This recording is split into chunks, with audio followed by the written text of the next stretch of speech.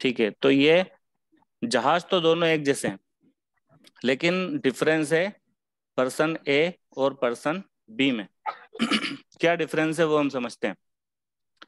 व्यक्ति ए जो है, उसको ये जहाज़ चलाना नहीं आता है, वो इसको चलाना नहीं जानता है।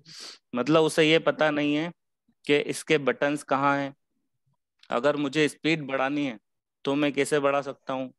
और अगर मुझे कोई डायरेक्शन लेनी है तो वो डायरेक्शन में कैसे ले सकता हूँ? ये भी उसे पता नहीं है। मतलब जहाज़ के बारे में उसे कोई जानकारी नहीं है। लेकिन उसे जहाज़ को समुद्र में चलाना भी है और कैसे न कैसे उससे पार भी जाना है।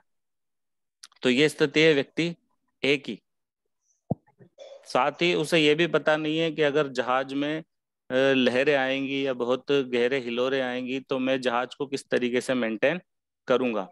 इसका मतलब जो पर्सन ए है, वो टोटली अनस्किल्ड है, उसे कुछ भी पता नहीं हम बात करते हैं पर्सन बी की। पर्सन बी को भी जहाज़ चलाना है, लेकिन पर्सन बी को ये अच्छे से पता है कि वो कौन सा बटन है जिससे दबाने से जहाज़ जो है तेज गति से चलेगा। कौन सा बटन है जिसे दबाने से जहाज़ की गति कम की जा सकती है? उसे जहाज़ की सारी फंक्शनिंग अच्छे से पता है।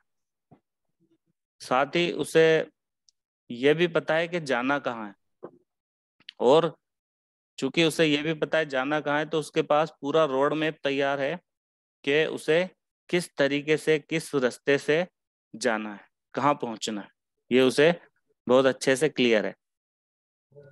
साथ ही उसे यह भी अनुभव है कि जब कभी हिलोरे आएँगी समुद्र में तो मुझे अपने जहाज़ को किस तरीके से हैंडल करना है किस तरीके से मेंटेन करना है।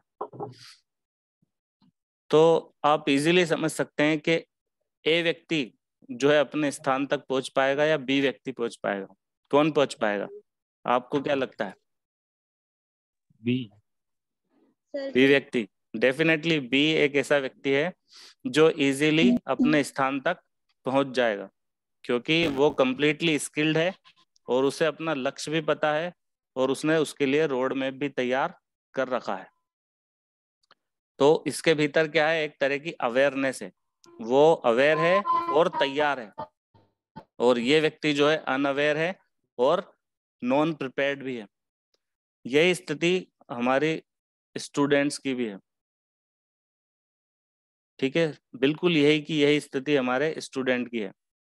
ऐसे स्टूडेंट जिन्हें ये पता नहीं है कि हम हमारे माइंड को किस तरीके से यूज़ में ले सकते हैं, किस तरीके से उसका उपयोग करके हम आगे बढ़ सकते हैं। और उसके साथ ही उनका कोई लक्ष्य भी निर्धारित नहीं है कि उन्हें करना क्या है। वो बस रोज सुबह उठते हैं, स्कूल जाते हैं और जो दिनचर्या उनकी है वो करते हैं और सो जाते हैं। फिर वही रिपीटेशन होता है। तो जो हमारा आज का बच्चा है, वो अधिकतर बच्चे एक ही तरह उन्हें कोई जानकारी नहीं, ना उनके लक्ष्य निर्धारित है, ना उन्होंने कोई रोड मैप बना रखा है, ना वो माइंड को कैसे हैंडल करना है, ये जानते हैं। साथ ही अगर कोई विपरीत परिस्थिति आती है तो आप जानते हैं कि माइंड हमारा शेक होता है। मीन माइंड हमारा डावाडोल हो जाता है। उसको हम कैसे मेंटेन कर सकते हैं? हमारे इमोशन को हम कैसे हैंडल कर सकते हैं? इस बारे में भी आज के स्टूडेंट को कोई जानकारी नहीं। इसलिए आपने देखा होगा कि कई बार स्टूडेंटों के आत्महत्या करने की खबरें भी हमारे पास आती हैं। तो उसका यही कारण है कि वो अपने इमोशंस को हैंडल करना नहीं जानते। कई ब्रिलियंट स्टूडेंट जो हमेशा फ़र्स्ट आए वो अगर क्लास में सेकंड आ गए या थर्ड आ गए किसी कारण से तो आत्महत्या कर लेते हैं। इस तरह के आ, के जब इमोशन के उनके अंदर आ, उनके माइंड में जब इमोशन आते हैं तो वो उसको हैंडल नहीं कर पाते।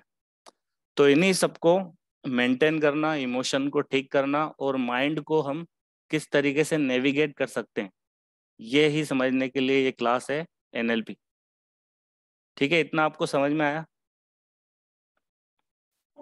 यस सर ठीक है ओके हमारी नेक्स्ट स्लाइड देते हैं। What is NLP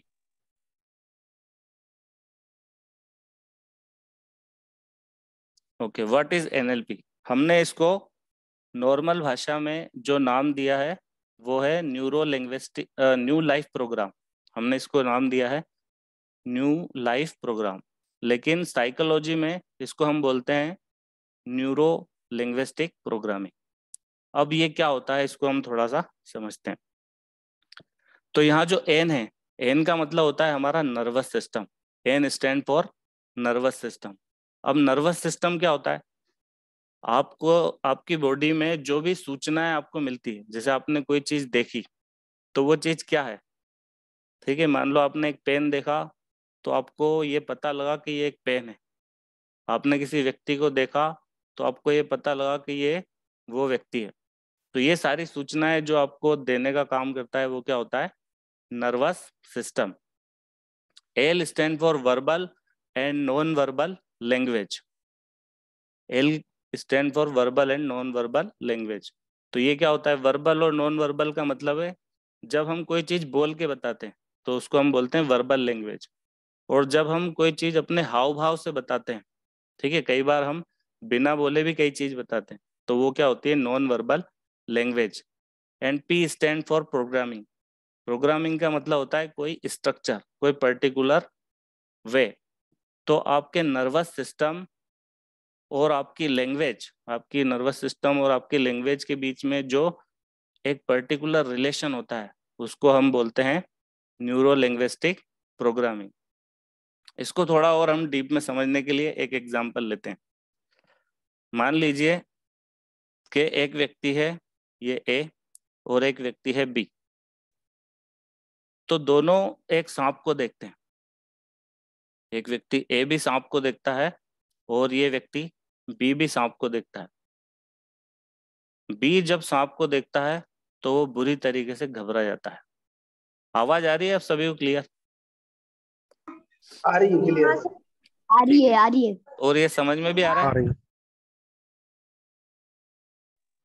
yes sir ठीक ठीक ठीक है। तो ए एक व्यक्ति है और बी एक व्यक्ति ये दोनों बी जब सांप को देखता है तो वो क्या होता है? डर जाता है। बहुत बुरी तरीके से डर जाता है। और ए जो व्यक्ति है, वो जब सांप को देखता है तो वो खुश हो जाता है। क्यों खुश हो जाता है, मैं बताऊँगा आपको। तो ए की स्थिति क्या है कि ये इसको देख के खुश हो जाता है और बी जो है, सांप को देख के बुरी तरीके से डर जाता है। ए इसलिए खुश हो जाता है, क्योंकि उसे सांप को पकड़ना आता है। और ये एक सपेरा है और इसे सांप से खेलना बहुत अच्छा लगता है। ये बहुत आसानी से जानता है कि मुझे सांप को किस तरीके से पकड़ना है। अब देखो, दोनों ने एक ही चीज़ को देखा, सांप को, और दोनों के लिए डेंजर चीज़ है सांप। ए की भी जान ले तक, ले सकता है और बी की भी जान ले सकता है। लेकिन बी जहाँ कंप्लीटली डर गया, वहीं ए नहीं डरा। तो इन दोनों के माइंड की जो प्रोग्रामिंग है वो अलग अलग हुई। बी ने जब सांप को देखा तो उसके अंदर क्या हुआ? भय पैदा हुआ डर गया वो। और ए जो है वो सांप को देखकर और खुश हो गया। तो क्या बी को हम ऐसा तैयार कर सकते हैं कि वो भी ए की तरह जब सांप को अगली बार देखे तो खुश हो जाए? निश्चित रूप से। कैसे कर सकते हैं? अगर अगर हम बी को ट्रेंड करें बी को सांप की ट्रेनिंग दी जाए उसे पकड़ना सिखा दिया जाए तो ये जो बी वाली प्रोग्रामिंग है इसको हम काय में चेंज कर सकते हैं। ए वाली ठीक है? इसी तरीके से हम सभी स्टू, सभी स्टूडेंट की या सभी व्यक्तियों की जो प्रोग्रामिंग होती है वो अलग अलग होती है। कोई बच्चा मैथ्स को देख के खुश हो जाता है कि वाह कितना अच्छा पेपर है मैं इसको बहुत इजीली कर दूँगा। कोई बच्चा मैथ्स को देख के घबराता है कि अरे कहाँ फंस गए? ठीक है? तो हम उनकी प्रोग्रामिंग में चेंज करके ऐसा कर सकते हैं कि जो बच्चा मैथ्स से कभी डरता हो वो खुश होने लगे मैथ्स को देख के ठीक है? तो एनएलपी का यूज़ क्या है? एनएलपी का यूज़ ये है कि हम खुद को धीरे धीरे समझने की कोशिश करेंगे खुद को बेहतर करने की कोशिश करेंगे और हम अपनी प्रोग्रामिंग को ठीक करने की भी कोशिश करेंगे। अब हम अपनी थर्ड स्लाइड पे चलते हैं। ये आपको समझ में आया सभी को? Yes sir okay. Third.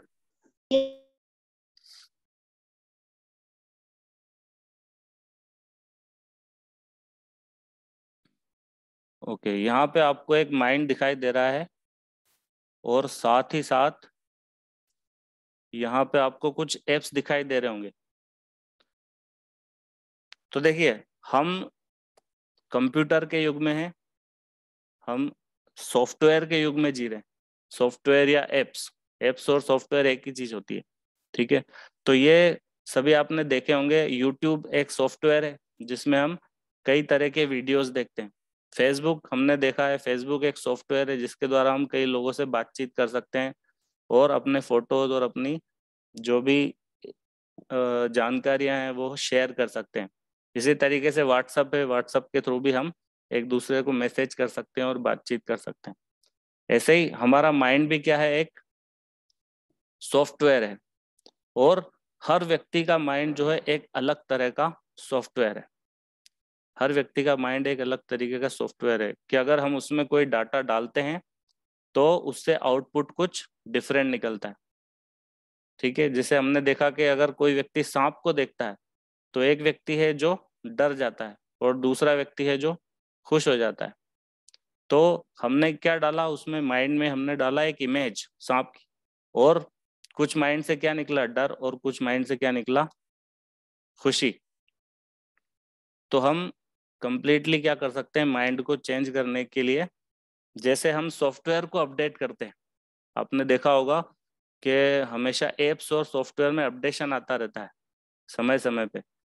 ऐसे ही हम अपने माइंड को अपडेट कर सकते हैं न्यू लाइफ प्रोग्राम और न्यूरो लिंग्विस्टिक प्रोग्रामिंग के माध्यम से। चलिए, थोड़ा सा हम देखते हैं हमारी पास्ट लाइफ के बारे में। पास्ट लाइफ मतलब आपने अभी तक जितने भी समय रहे हैं तो आपका लाइफ के प्रति एक एटीट्यूड या एक व्यू पैदा होता है। आप जिन भी परिस्थितियों से गुजरे हैं, वो सारी परिस्थितियों का इफ़ेक्ट आपके माइंड पर होता है। तो आपके भीतर जो जो भी परिस्थितियाँ आई हैं, उसके कारण ही आप जो भी आज हैं, वो अपनी परिस्थितियों के कारण है। तो कई बार क्या होता है, जैसे एक स्टूडेंट है और वो सब्जेक्ट में पहले अच्छा नहीं कर पाया। मान लो एक बच्चा है जो इंग्लिश में अच्छा नहीं कर पाया तो वो क्या करता है? धीरे धीरे वो एक धारणा बना लेता है। उसके अंदर क्या होती है, एक कॉन्सेप्ट बिल्ड हो जाता है, एक धारणा बन जाती है कि वो इंग्लिश में अच्छा नहीं है। वो इंग्लिश में अच्छा नहीं अब ये धारणा क्या करेगी? ये धारणा उसको इंग्लिश में आगे भी कभी अच्छा नहीं होना देगी। क्योंकि वो इसके लिए कभी प्रयास नहीं करेगा इंग्लिश के लिए। क्योंकि वो मन में सोचेगा, मैं तो इंग्लिश में अच्छा हूँ ही नहीं।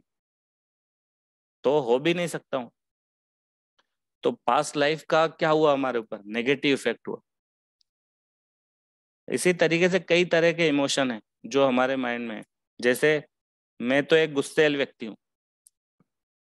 अभी तक आप गुस्सा करते रहे तो आपने एक धारणा बना ली कि मैं एक गुस्सेल व्यक्ति हूँ।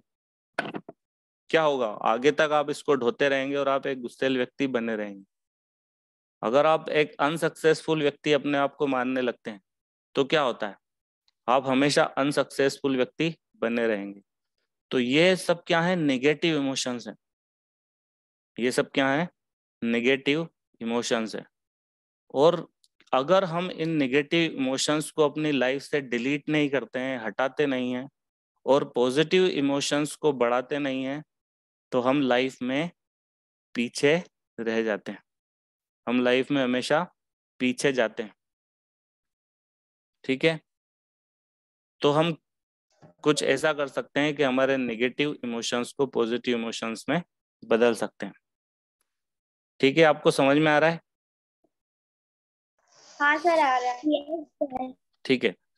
चलो तो अगली स्लाइड पे आने से पहले हम, मैं आपको एक कहानी बताता हूँ, उसको हम समझते हैं।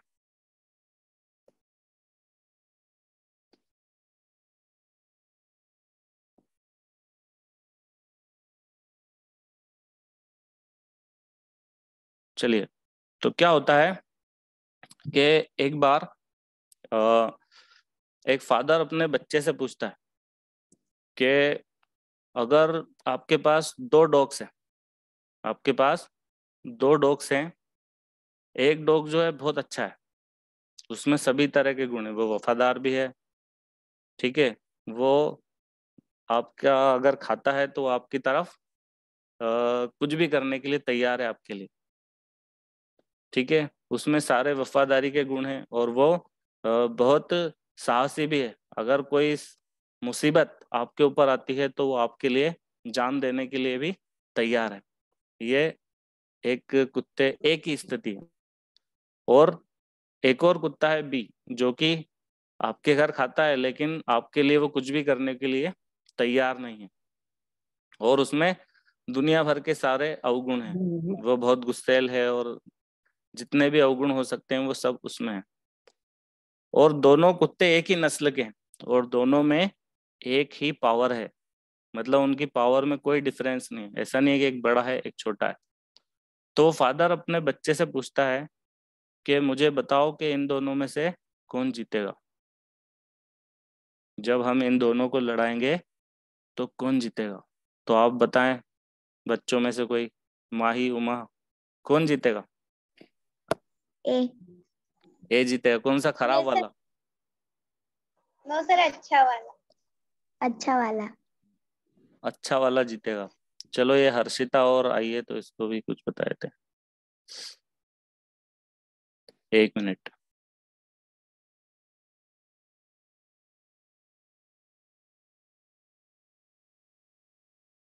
थोड़ा सा स्टोरी को मैं रिपीट कर दूँगा ताकि उसको कुछ समझ में आए।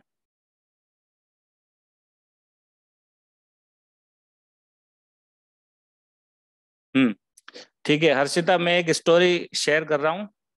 आपको आवाज़ आ रही है मेरी?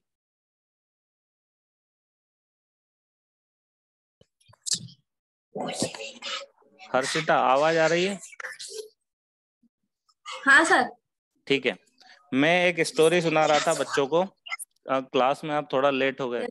चलिए तो हाँ सर हम्म तो एक फादर अपने बच्चे से ये पूछता है कि दो, आपके पास अगर दो कुत्ते हैं, दो डॉग्स हैं और दोनों ही बराबर पावर के हैं, एक बहुत अच्छा है और एक बहुत बुरा है। एक ए जो है, उसमें सभी तरह के गुण है, सारी क्वालिटीज हैं और बी जो है, उसमें सारे नेगेटिव गुण हैं, ठीक है नेगेटिव पावर्स हैं।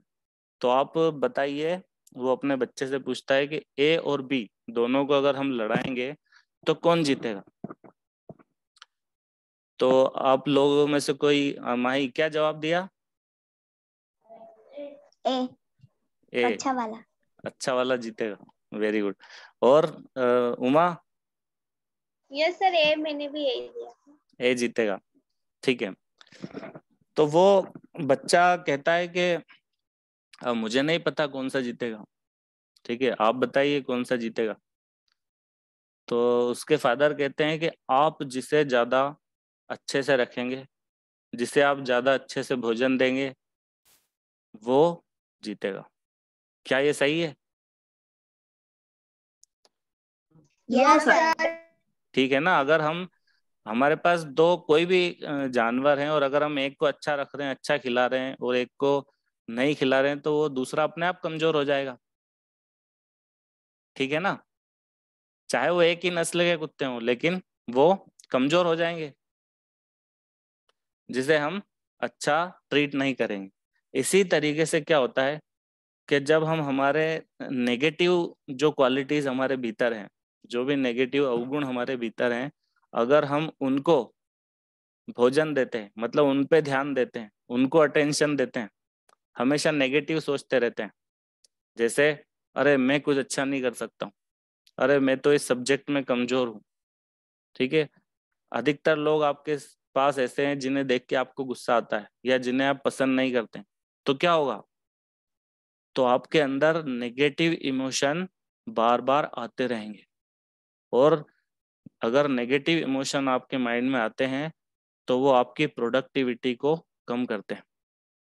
आप जानते हैं आपसे पूजा करने के लिए या अच्छे भाव लाने के लिए क्यों कहा जाता है? क्योंकि आपकी मेंटल पावर इंक्रीज होती है। अगर आप अच्छे भावों को अपने भीतर ला सके तो। ठीक है? यस सर तो अब हम हमारे नेक्स्ट स्लाइड के ऊपर चल रहे हैं। पास्ट लाइफ के बारे में हमने देखा था कि पास्ट लाइफ का हमारी लाइफ पे क्या इफ़ेक्ट होता है। बहुत सारी नेगेटिविटी हमारे भीतर आ सकती है। अगर हमारे साथ अगर हमारा पास्ट अच्छा नहीं है तो ठीक है? चलिए नेक्स्ट स्लाइड देखते हैं। चलिए, मैंने एक, वाक्य पढ़ा था अवेयरनेस ब्रिंग चॉइस अगर आप अवेयर होते हैं तो क्या होता है आपके पास? चॉइस होती है। मतलब अगर आप जागे हुए हैं, अगर आप किसी चीज़ के प्रति चिंतित हैं और आपको करना है कोई काम तो आप उसके लिए जागे हुए हैं तो आपके पास चॉइस होती है। ठीक है? तो क्या होता है कि अगर हम अपनी लाइफ के प्रति जागे हुए नहीं है, अगर हम ऐसे ही सोते सोते लाइफ में बस जो रूटीन वर्क है वो करते रहते हैं तो हमारी लाइफ वैसी ही चलती रहेगी जैसी आज है। ठीक है? अगर आपको लाइफ में कुछ चेंज करना है तो कहाँ चेंज करना पड़ेगा आप अगर आपको लाइफ में चेंज करना है तो आपको अपने माइंड में चेंज करना पड़ेगा। और माइंड में चेंज करने के लिए आपको क्या लेके आनी पड़ेगी? अवेयरनेस लेके आनी पड़ेगी। ठीक है? तो आप यहाँ पे आपको एक डॉक्टर दिखाई दे रहा होगा। ठीक है? तो जब आप किसी डॉक्टर के पास जाते हैं अपनी कोई भी बीमारी लेके आप एक डॉक्टर के पास जाते हैं तो वो सबसे पहले क्या करता है? सबसे पहले वो आपको चेक करता है कि आपकी बीमारी है क्या। कई बार वो पता लगा लेता है जो आप बोलते हैं उससे, ठीक है, या कई बार वो स्टेटोस्कोप वगैरह लगा के ये चेक करता है या आपको कुछ जाँच करने के लिए देता है और उसके बाद पता करता है कि बीमारी क्या है, ठीक है। इसी तरीके से जब हम न्यूरो लिंग्विस्टिक प्रोग्रामिंग पढ़ रहे हैं तो हम क्या कर रहे हैं? हम अपने प्रति जागरूक हो रहे हैं। हम अपने प्रति क्या हो रहे हैं? जागरूक हो रहे हैं। और ये जानने की कोशिश कर रहे हैं कि हमारे भीतर क्या क्या है। कौन से नेगेटिव इमोशंस हैं जो हमारे भीतर हैं? ठीक है? कौन सी चीज़ हम कौन सी चीज़ हमारी स्ट्रेंथ है? कौन सी चीज़ हमारी वीकनेस है? हमारी क्या क्या वीकनेस है? हम कौन से सब्जेक्ट में अच्छे हैं? हम कौन से सब्जेक्ट में खराब हैं? ये सब हमें पहले पता करना पड़ेगा। तो सबसे पहले आपको क्या करना है? देखिए, ये जो एनएलपी क्लास है, इसमें आप अगर खुद पे वर्क करेंगे तो आप देखेंगे कि कुछ ही समय में आप बहुत बेहतर हो सकते हैं। देखिए, एक चीज़ है कि अगर आप वही करते रहेंगे जो आज तक करते आए हैं तो क्या होगा? वही होगा जो अभी तक होता आया है। ठीक है? अगर हम वही करते रहे जो हम पहले करते रहे हैं तो वही होगा जो हम, जो हमारे साथ हुआ है अभी तक। तो आपको क्या करना है? सबसे पहले कुछ क्वेश्चन है जो अपने आप से पूछना है। सबसे पहले आपको अपने आप को डिफाइन करना है। हु एम आई आप अपने आप को हु एम आई मतलब मैं खुद को क्या समझता हूँ? क्या अपने बारे में जानता हूँ? मैं अपने बारे में क्या जानता हूँ? तो आप एक अपने लिए इसके एनएलपी की क्लास के लिए एक कॉपी बनाएँगे और उसमें ये सब लिखेंगे। जो आप ये जो मैं बता रहा हूँ वो करेंगे तो बहुत डेफिनेटली आपकी लाइफ में एक ज़बरदस्त चेंज आएगा, ठीक है? मैं अपने बारे में क्या जानता हूँ, ठीक है? फिर मेरे लक्ष्य क्या है? मेरे लक्ष्य क्या है? ये आपको लिखना है। आपको लिखना है आपकी स्ट्रेंथ क्या है? आपकी स्ट्रेंथ क्या है ये लिखनी है और आपको अपनी वीकनेसेस लिखनी है। तो ये काम आपको करना है। नेक्स्ट क्लास में हम लोग इससे आगे चर्चा करेंगे। ठीक है? आपको ये लिखना है कि मैं क्या हूँ? मैं अपने आप को जो भी आप समझते हो कि मैं इस चीज़ में कमज़ोर हूँ, मैं इस चीज़ में अच्छा हूँ। कम से कम एक पेज अपने बारे में लिखें तो आप खुद को धीरे धीरे जानने लगेंगे। फिर आप समझ पाएँगे कि आप कहाँ चेंज कर सकते हैं, कहाँ अपनी लाइफ में चेंज कर सकते हैं। कॉपी पे लिखने पे बहुत डिफरेंस आता है, ठीक है? तो सिर्फ़ सोचना नहीं है आपको लिखना है। अपनी स्ट्रेंथ भी लिखनी है और अपनी वीकनेसेस भी लिखनी है। कौन से सब्जेक्ट में आप अच्छा कर पाते हैं। क्यों कर पाते हैं? तो जितना आप डिटेल में लिखेंगे, उतना आपको क्लियर होगा, विजिबल होगा, ठीक है? नेक्स्ट क्लास में, नेक्स्ट क्लास में हम लोग क्या पढ़ने वाले हैं? तो ये ये जो वीडियो है, ये मैं ग्रुप में भी शेयर कर दूँगा तो आप इसको देख पाओगे, ठीक है?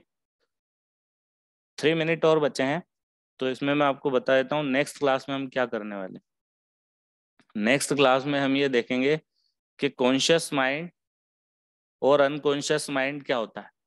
जो हमारा माइंड है, उसमें कॉन्शियस माइंड क्या होता है और अनकॉन्शियस माइंड और सब कॉन्शियस माइंड क्या होता है। ठीक है, उसको हम समझेंगे और उसके बाद हम ये समझेंगे ब्रेन वेव्स ब्रेन वेव्स के बारे में समझेंगे कि ब्रेन वेव्स क्या होती हैं। ठीक है, हमारे ब्रेन में अलग अलग तरह की अल्फ़ा, बीटा, गामा, डेल्टा इस तरह की वेव्स होती हैं। तो कौन सी वेव्स अच्छी होती हैं? कौन सी वेव्स ऐसी होती हैं कि जब हमारे माइंड में अल्फ़ा हो, अल्फ़ा ब्रेन वेव चल रही हो तो हम क्या कर पाते? क्या चीज़ हमें उस समय अच्छे से करना चाहिए? ठीक है तो ये इन चीज़ों के बारे में हम जानेंगे और हम प्रैक्टिकली हमारे इमोशन को कैसे हैंडल कर सकते हैं, ये समझेंगे। तो अगली क्लास हमारी इन सब चीज़ों के बारे में होगी। तो तब तक के लिए आप क्या करेंगे, इनके बारे में लिखेंगे। देखिए, अगर आपको अपना इलाज करना है तो आपको क्या करना पड़ेगा? इलाज करना है तो आपको पहले बीमारी को समझना पड़ेगा। तो मैं जो कह रहा हूँ, उसको आपको अवॉइड नहीं करना है। इसको अच्छे से लिखना है और खुद की स्ट्रेंथ और वीकनेस को समझना है। अगर आप जो बताया जा रहा है वो करते हैं तो धीरे धीरे आप एक बेहतर स्टूडेंट हो पाएँगे और एक बेहतर व्यक्ति हो पाएँगे और आप बहुत अच्छा कर पाएँगे। ठीक है आज की क्लास आपको समझ में आई? यस सर ठीक है तो ये फोर्टी मिनट्स की आज हमारी क्लास थी। इसमें काफ़ी कम बच्चे ऐड हो पाए और कुछ लोग लेट भी आए तो उनको कम समझ में आया होगा। लेकिन इसकी पूरी वीडियो मैं आपको ग्रुप में सेंड करने वाला हूँ। तो आप उसमें देख सकते हैं। ठीक है वन मिनट और बचा है। ग्रुप में आप अपने क्वेश्चन लिख सकते हैं। अगर आपको कोई चीज़ पूछनी है तो आप ग्रुप में भेजिएगा। तो मैं आपको क्लियर करने की कोशिश करूँगा जो भी आपकी क्वेरीज हैं। ठीक है हर्षिता समझ में आया? ठीक है तो इसके लिए कॉपी बनाओ ये काफ़ी इंपॉर्टेंट सब्जेक्ट है और कुछ ही समय में आपका लेवल दूसरों से डिफरेंट होगा। ठीक है अगर आप अपने आप को प्रोग्रेसिव बनाना चाहते हैं तो क्लास ज्वाइन करते रहें और जो कह रहे हैं वो थोड़ा सा करते रहेंगे तो आप बेहतर कर पाएँगे। कुछ प्रैक्टिकल चीज़ें नेक्स्ट क्लास में हम बताने वाले ठीक है, आज के लिए इतना ही। और, बस आपको वर्क करना है थोड़ा सा।